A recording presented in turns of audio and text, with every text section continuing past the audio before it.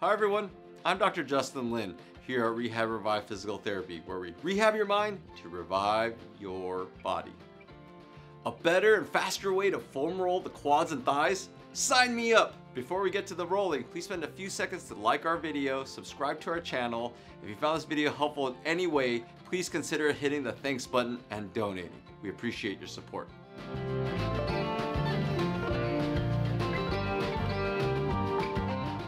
Traditionally, you can foam roll the same muscle for hours and just never feels quite loose enough. Here at Rehab and Revive, we create a method called functional foam rolling for better, faster, smarter, longer lasting change. We have five progressions to functional foam rolling. The first one is breathing. The second one is traditionally what everyone does is elongation. The third is shearing. And the fourth is rotationals. And the fifth and final progression is active stretching. So let's get to foam rolling our quads. All right, everyone, get your handy foam roll. We're gonna start foam rolling those quads. I have a half one. I find it just a little bit more convenient, but the long ones work great just as well. So what we wanna do here is we're gonna split up our quads into thirds. So it's gonna be first third, upper third, middle third, lower third.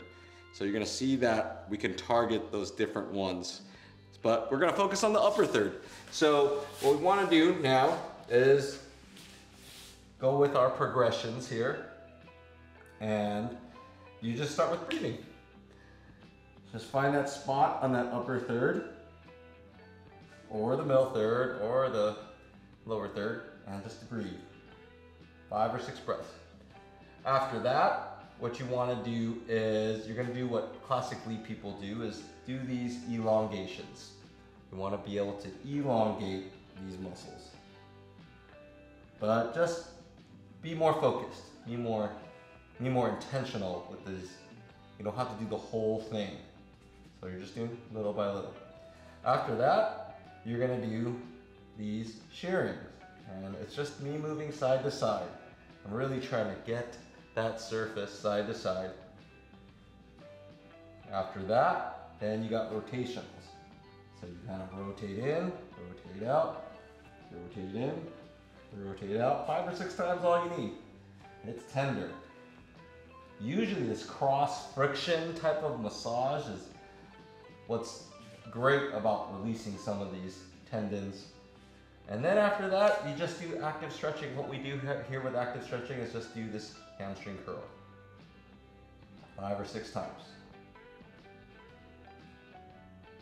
Now what we'll do is we'll move to the middle third and that's generally where a lot of people have it. So start with breathing again. Let's do it again.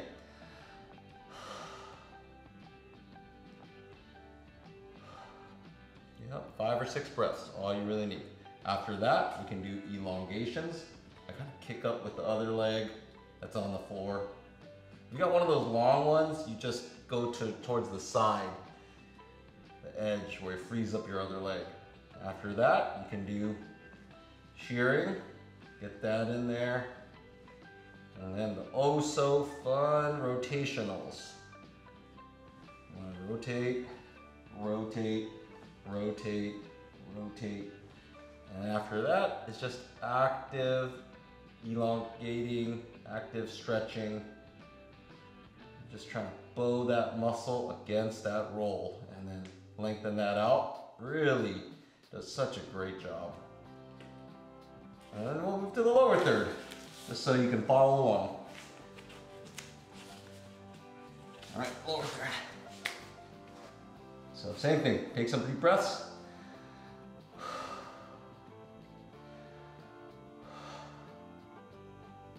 Then you want to do your elongating. After that, you can do the shears. Then the rotationals. My favorite. And then do the active stretching. You see, it takes about maybe 90 seconds to do it all in one leg. And then you would, of course, move to the other leg. Keep it free. There you go. Please give these progressions to rolling a try and see if it helps. Let us know what you think and leave us some feedback in the comments box below. Once again, please like and subscribe. We can use your support. I'm Dr. Lin. Remember, we heal smarter, not harder.